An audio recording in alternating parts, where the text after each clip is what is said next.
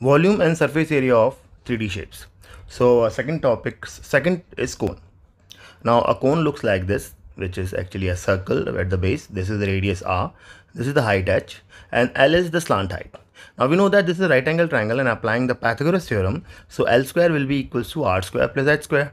So what is L? L we can find by under root of r plus h, r square plus h square, sorry, r square plus h square. So the volume of the cone is 1 by 3 pi r square h r square h.